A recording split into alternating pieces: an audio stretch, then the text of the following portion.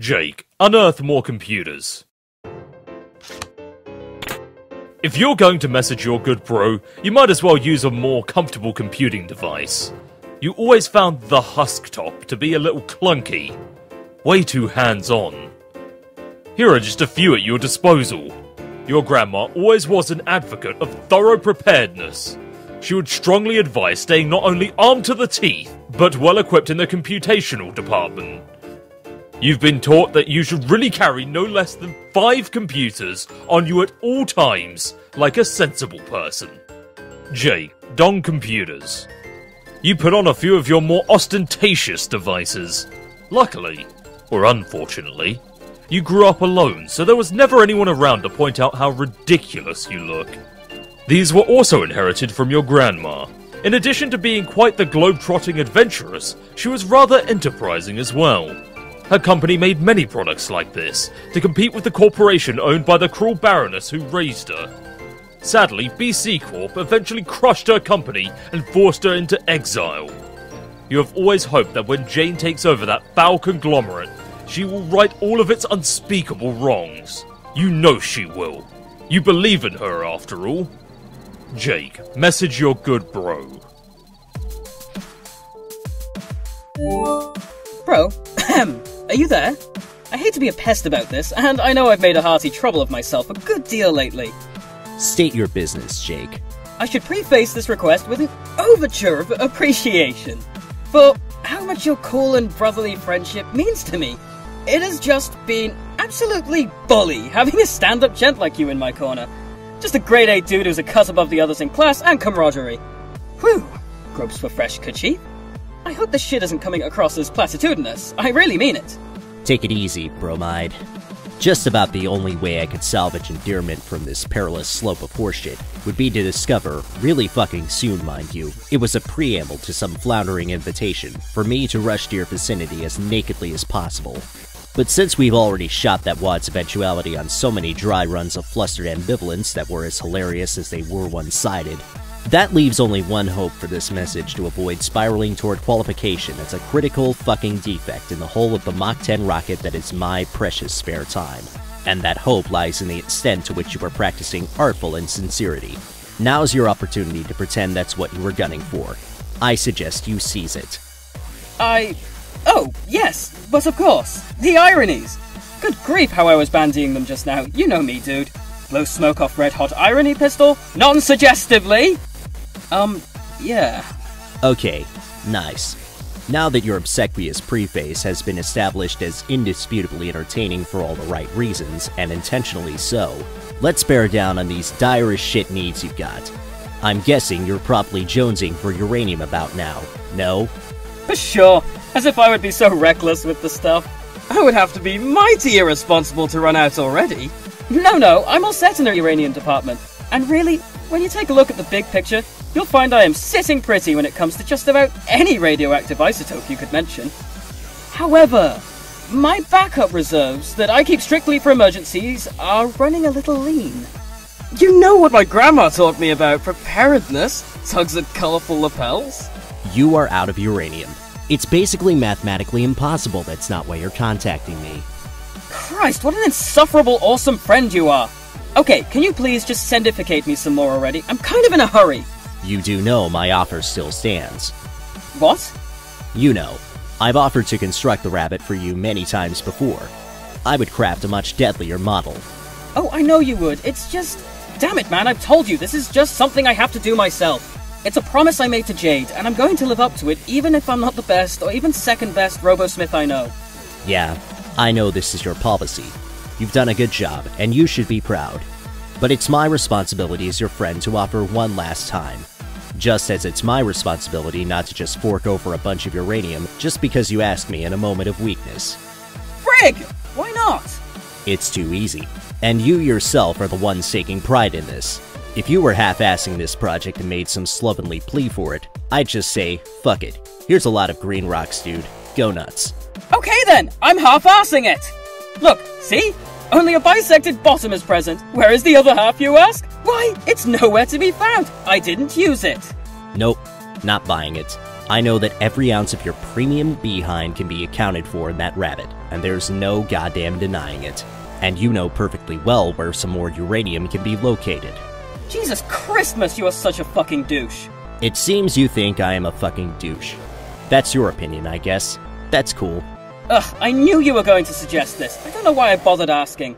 Strider, why must you always be such an obstinate stick in the mud?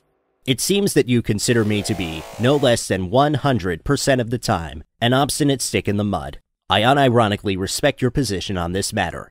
Hey, let's continue to exchange ideas. Wait, it seems? What? Oh, for fuck's sake. Is something the matter, Jake? This is your autoresponder. Look at that statement you just made.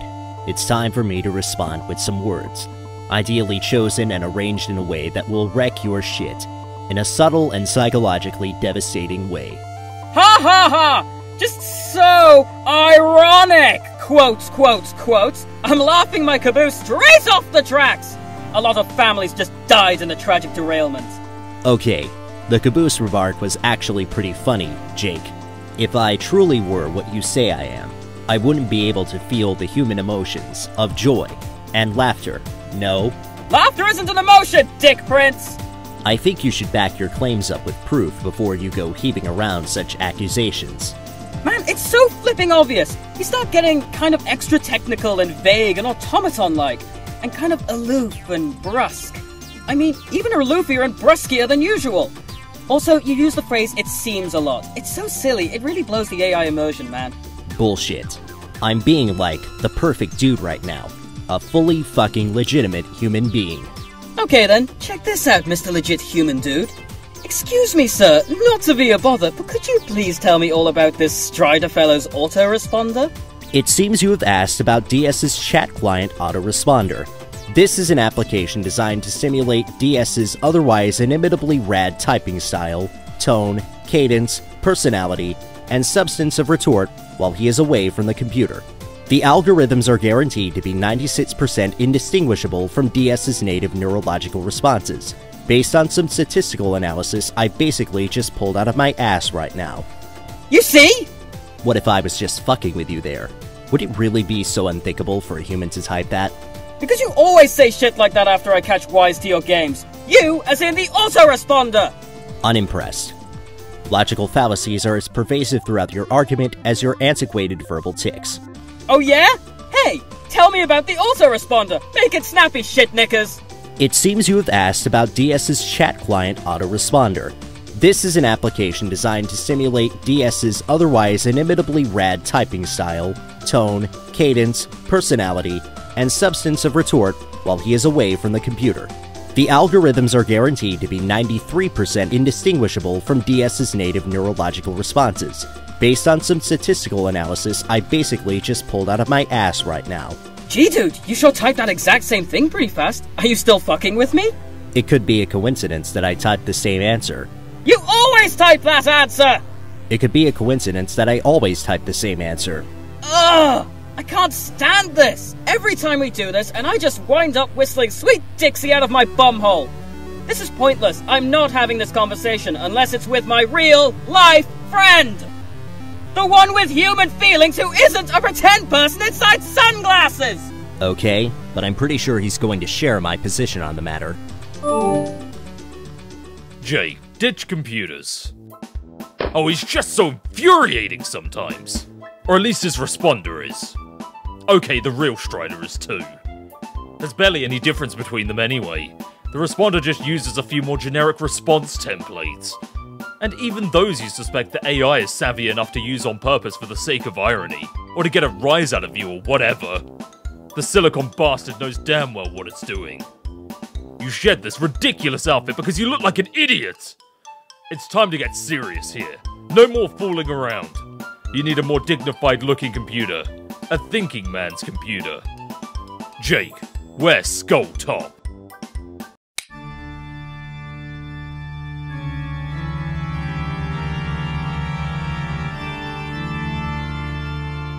Much better. You look like you mean business. Hmm. No sign of Lalonde online. No surprise there.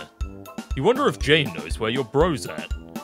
You should try to call your jet before talking to her. Today is a special day she's been looking forward to for a long time, and she's probably on cloud nine. You wouldn't want to ruin it for her. Jake, pester Jane. Jane, forgive my botheration. We've already heard is this meant to be a spanky conversation. rib snorter of a day for you and all. Jake, go downstairs. You are curious about Jane's dream. Sounds like it almost certainly has to do with your imminent adventure. You'll have to remember to get the scoop on that a little later.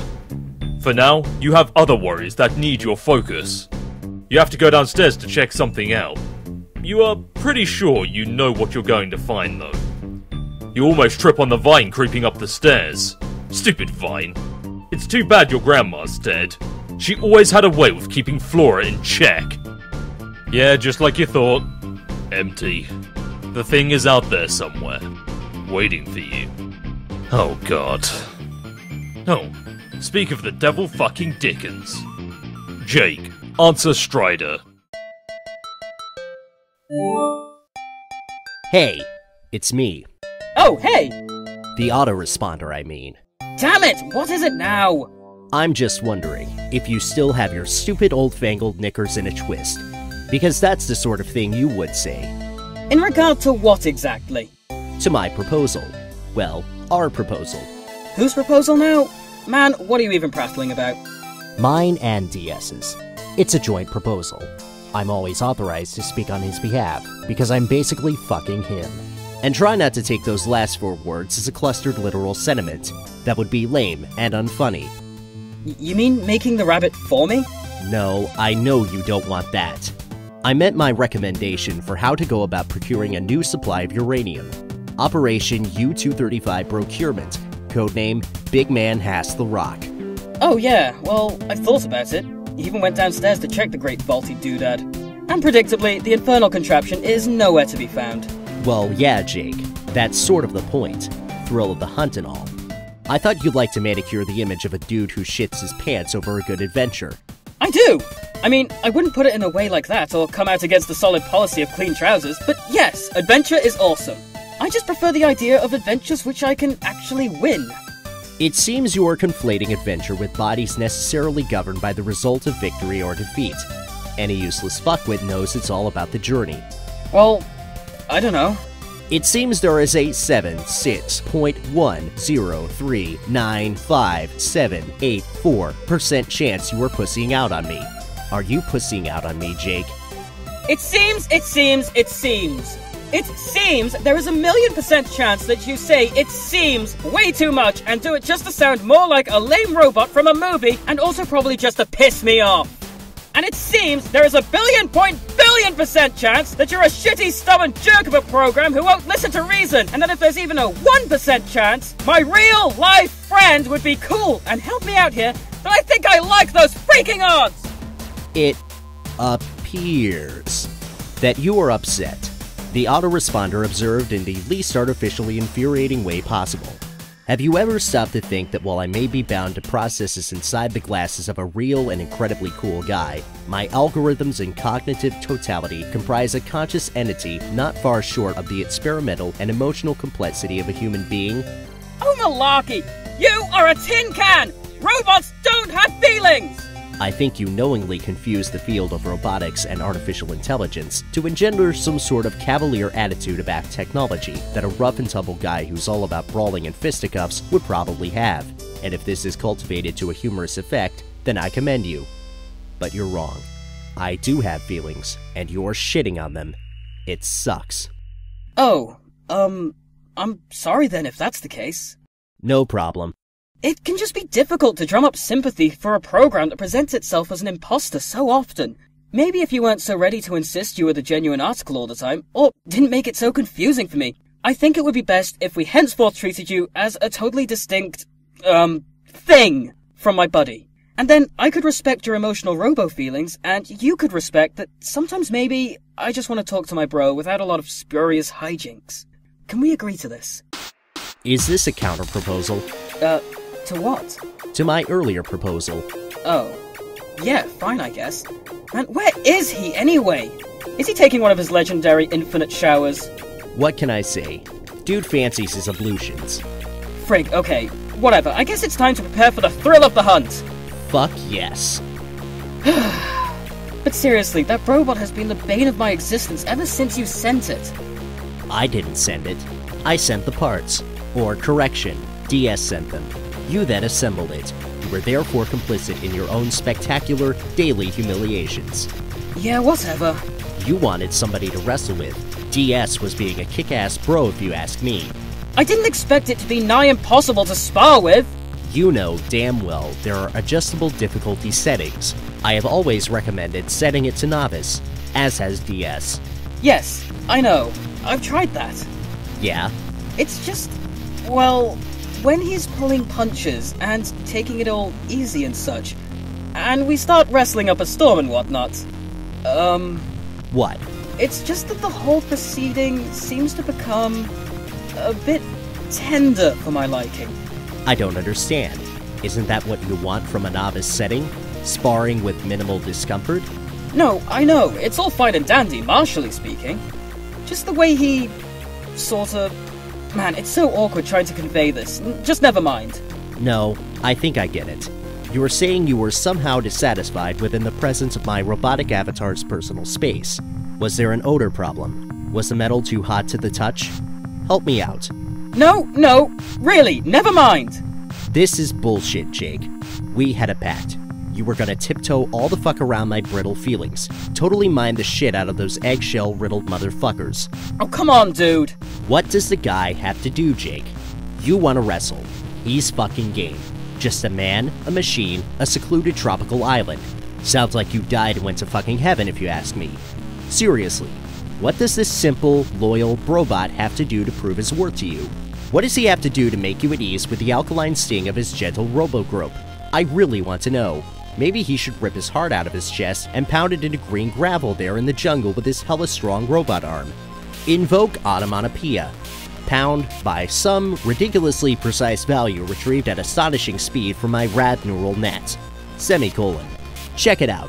Little green rocks all over the goddamn place.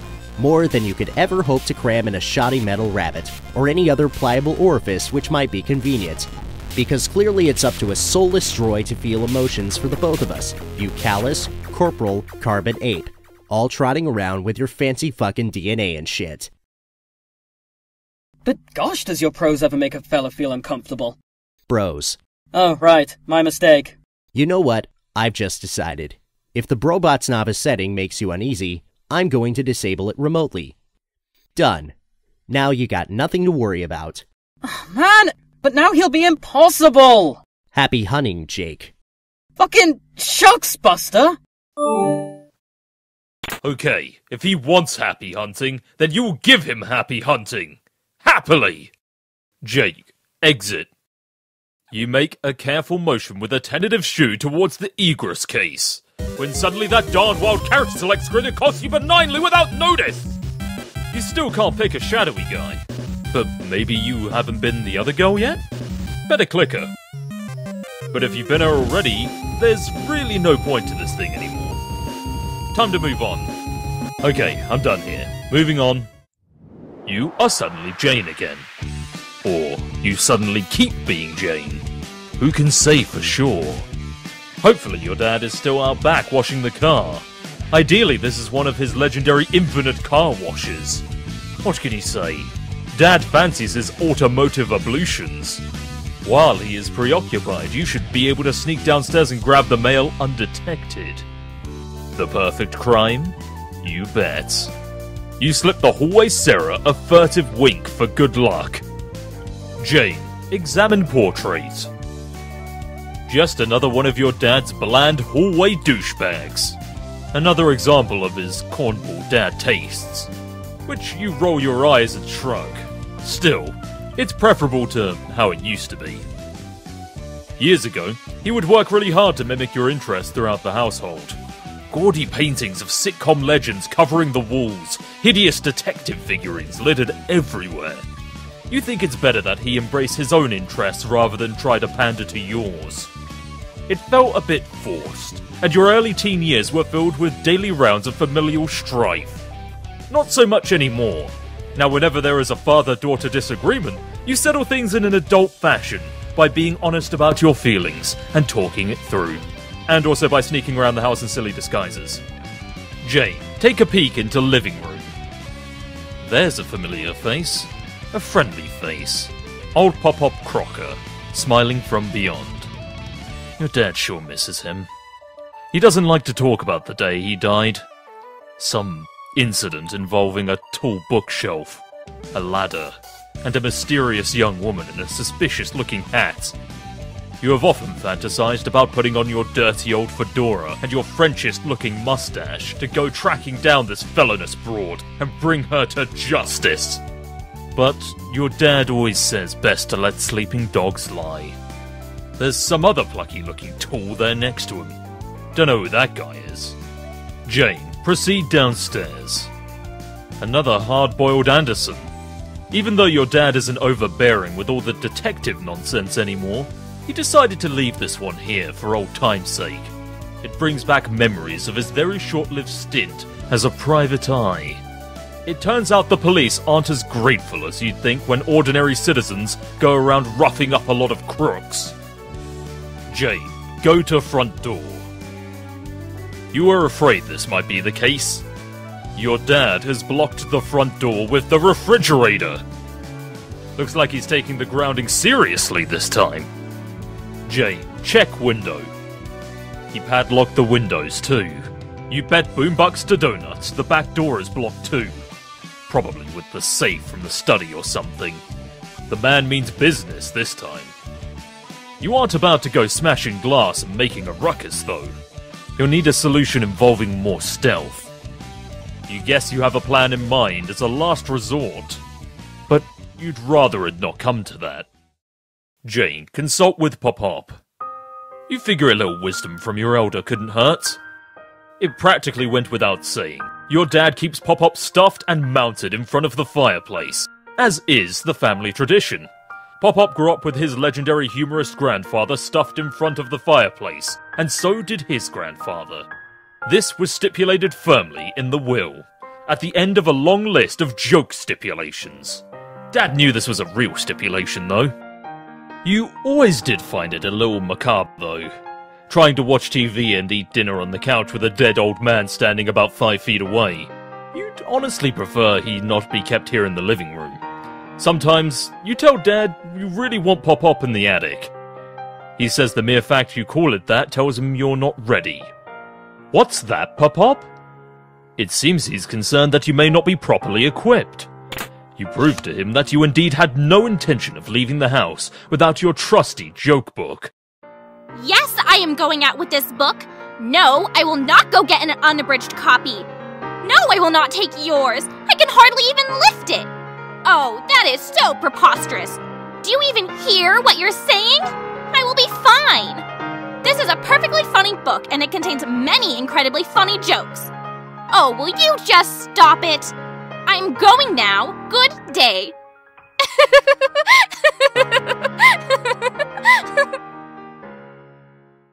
On second thought, take his book. You just remembered something your alien friend said about the big old book downstairs, and trusting words written by your own hand. What the heck did she mean by that? Oh, whoops. Sorry, Pop Pop.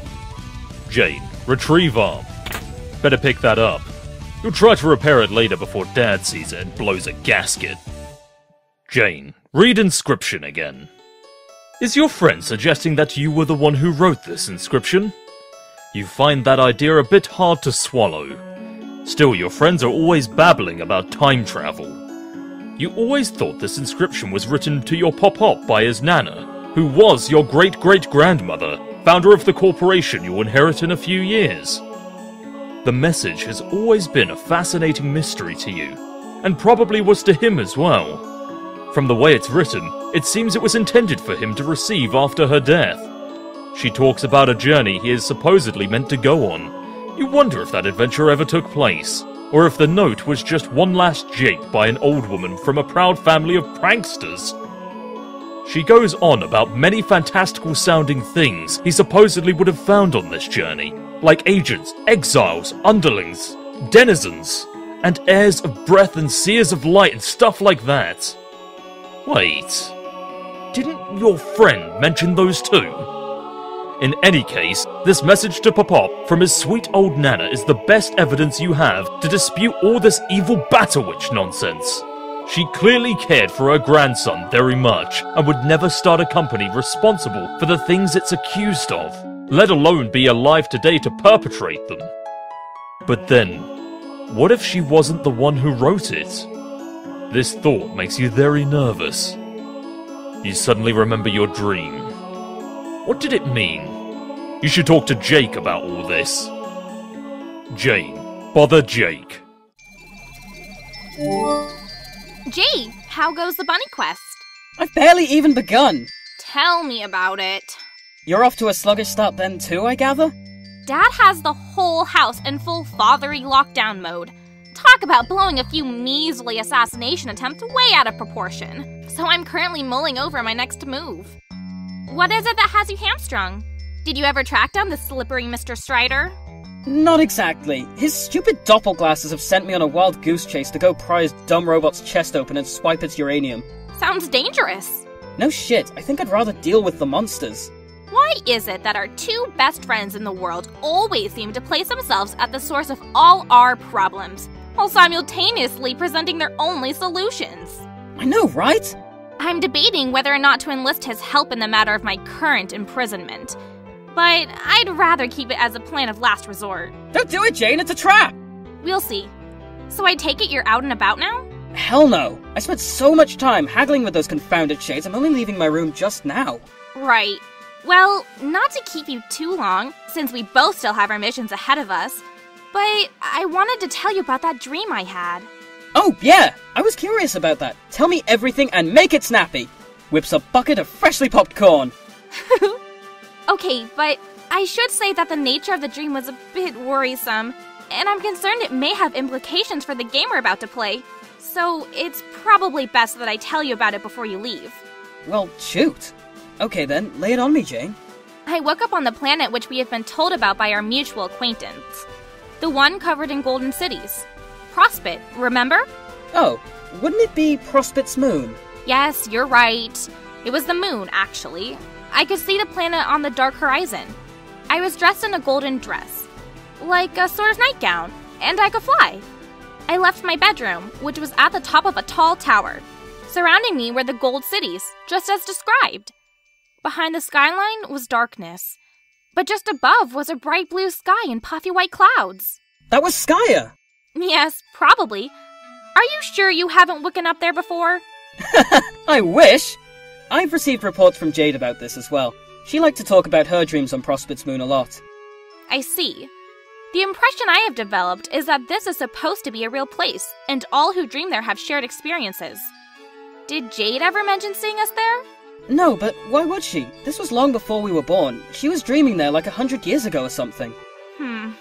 Anyway, I explored the moon and began to notice people gathering in the streets. But they weren't human. They were funny looking, perfectly white creatures. Yeah, those are Prospitians. They have these hard carapace shells and also have something to do with chess, I think. Well, I don't know if they had much to do with chess here. The more closely I observed, the more they appeared somewhat despondent. Like, sad? Yes. I determined they were in mourning, actually. Hey, Jane, you said I was in this dream. Where do I come in? Shush! I'm getting there. More and more Prospitians were filing out of the buildings every moment. They all began to form a single major procession. When I got closer, I could see that some were in tears. I realized this was a funeral. I heard whispers, but couldn't make out what they were saying, so I got closer. They were all saying the same thing over and over. The page is dead. Our hope is lost. The page? Who's that? Jake, the page was you. Oh, drat. Are you sure? Yes, I saw your body lying in a sort of coffin on a bed of flowers. You were dead as a doornail. Everyone was so distraught, including me. But before I could get too horribly upset, let alone make sense of any of it, I woke up. I, of course, immediately wanted to tell you all about, but it was still well before sunrise for you, and you were surely still asleep. Then, as the day went on, I guess I became distracted by other things. You know how it is. I hope I'm not too late to warn you, though to be frank, I don't have the foggiest clue what it is I'm warning you about. Dear Jake, oh please do not try to have already died in my dream. Likely while you were sleeping, perhaps peacefully? yeah, I, I see your point. Still, I think you'll agree that it's to be viewed as a troubling omen. I care very much for you, and I don't know what I'd do if I lost you both in my dreams and here in this world. So, for whatever good it does, just please be careful out there today. Roger that, Janie. And, um, same goes for you about being careful what with these various rogues accosting you with foul play lately and whatnot. Because, well, I sure do care a lot about you too. You know that. Hooray! Will do. now let's get this silly old adventure off to the races before the coat of dust is growing gets any thicker. Booyah! Okay, good luck, Jane, and keep me posted. See ya.